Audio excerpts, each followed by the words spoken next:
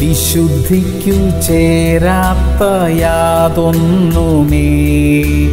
താലോലിക്കില്ലെന്റെ ജീവിതത്തിൽ ശോധന ചെയ്തു ഞാൻ എന്നെ തന്നെ. ആ തിരുസന്നിധിയോടടുക്കുന്നിതാ